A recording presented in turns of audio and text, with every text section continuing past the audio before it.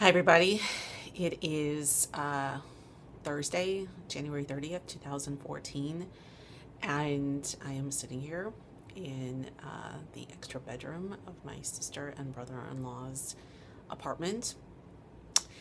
And I just found out that I got the 23andMe DNA test results. I have been waiting for these results for quite some time, and these results are also going to flow and fill the pages of whatever is going to be the next book. I'm not really quite sure what the book is going to be about, to be really honest. And I'm about to take off on a journey, literally in five days, overseas.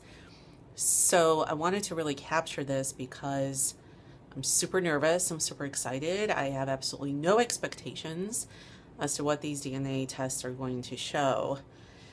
But I'm so nervous and I wanted to make sure I capture it on video.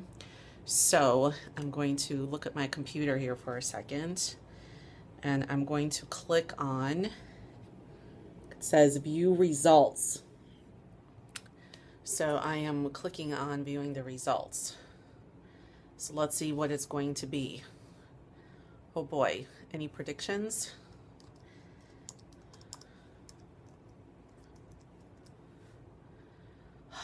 The anticipation is killing me here. I thought I was going to get these when I actually get to my destination, but it looks like I'm getting them a little bit earlier.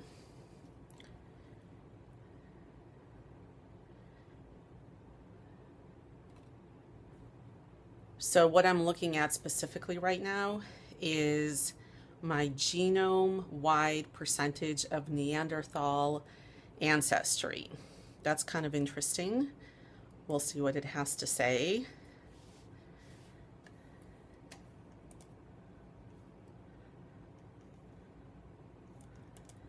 I wonder what my Neanderthalic history is going to say.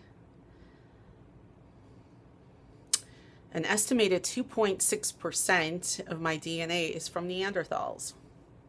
I'm not quite sure what that even means, because don't we all come from them? But here we go.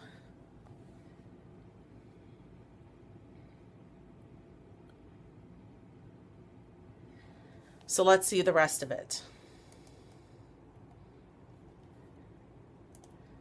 And what I'm really looking at is uh, the maternal line and the paternal line and to see where it's going to net out.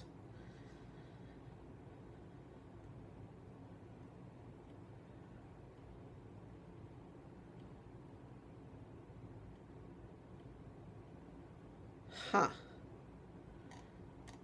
apparently I come from something called the hap haplogroups.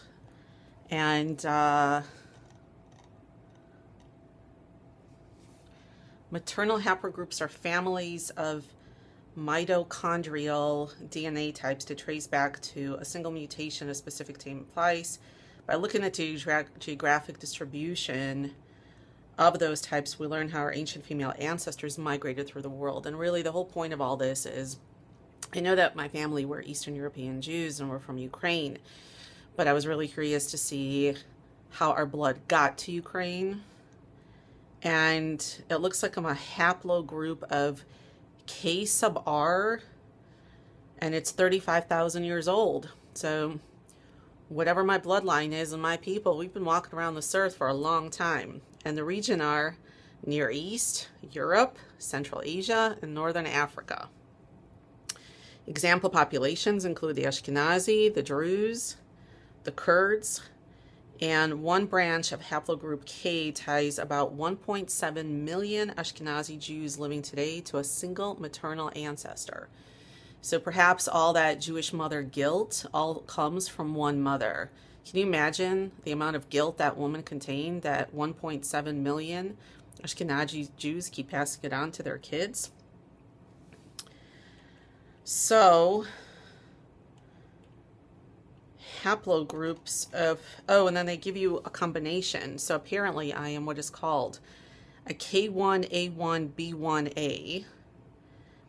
And I have no idea what that means, but A2 is Eva Longoria. She's kind of pretty.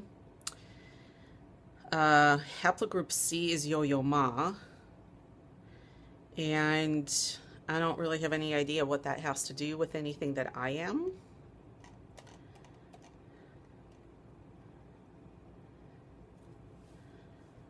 Okay, so here it says K split off more, K split off the more ancient haplogroup U8 about 35,000 years ago.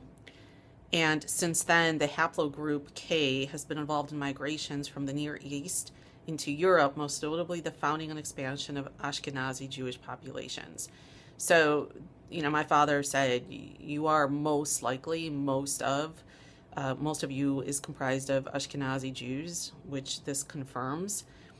But it looks like there's other things going on here, but I'm not quite sure yet how to read all this. But I wanted to do this live.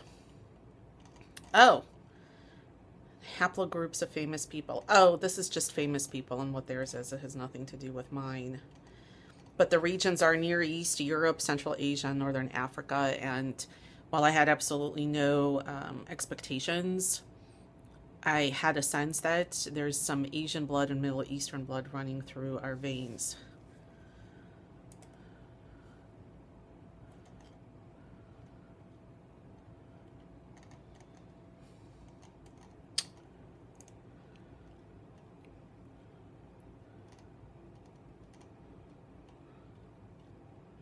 And so,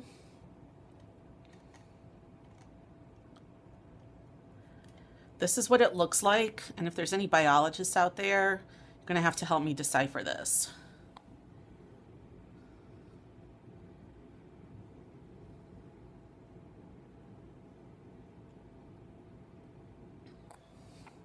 But let us continue. Let us see what comes out from Dad's group.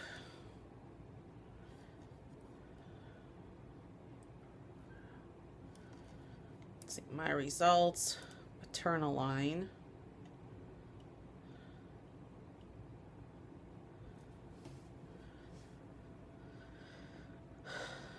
Ooh, interesting enough, my paternal haplogroup is unknown. And it says, why do women have an unknown paternal line? It says we have 23 pairs of chromosomes the 23rd pair is XX for women and XY for men. The paternal haplogroup is traced through the Y chromosome that's passed down from father to son. So both men and women receive information about their mother's and father's ancestry from the other 22. But uh, it says that I can link to my father's haplogram. Let's see what happens.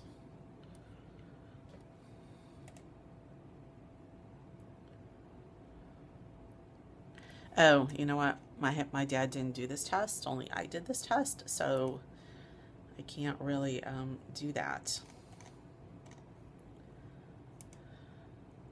So I'm still not really quite understanding what my results are showing. Oh, so here it is. My ancestry composition hasn't been computed yet and the results should be ready within about two weeks. So really this is just some preliminary information where it's telling me where the maternal line has come from and it's also told me how much of a Neanderthal I am. And uh, I'll just show you the map that I'm a subgroup of something called K, and so I'll just show you where K spread. So we're really only at the beginning. So as imagined, Europe, Africa, and Asia, and the Middle East. And uh, that's, that's where I thought it would be. And looks like K is a subgroup of R. But yeah, 35,000 years. And uh, goes back to one Jewish mother. So think of all that guilt. All right, I will keep you posted. I will let you know how the rest of this goes, but we're getting there, and most likely it looks like I'm going to get my results when I am overseas. And we'll see how that's going to inspire the book. Thanks, everyone. Take care. Bye.